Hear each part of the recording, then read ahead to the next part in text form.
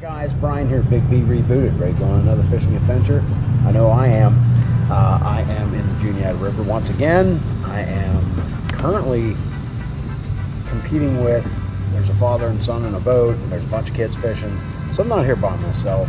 Uh, the kids were out swimming, so that's going to put a damper, I think, on some things. But I've already caught a decent amount of fish, so let's just see what I can get into, okay? Stick around.